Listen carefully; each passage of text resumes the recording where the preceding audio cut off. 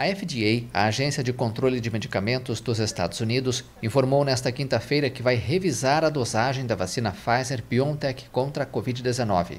A medida ocorre depois de duas pessoas apresentarem reações alérgicas, sendo que uma delas teve uma reação grave ou anafilática e precisou ser hospitalizada. Doran Fink, subdiretor da divisão de vacinas da agência americana, disse que as autoridades estão investigando os dois casos e trabalhando com o Reino Unido para entender melhor dois casos semelhantes que ocorreram lá.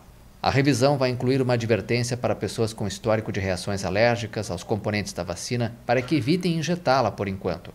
Também incluirá um aviso de que as instalações onde as vacinas são administradas devem garantir a disponibilidade imediata de tratamento médico para lidar com reações alérgicas graves.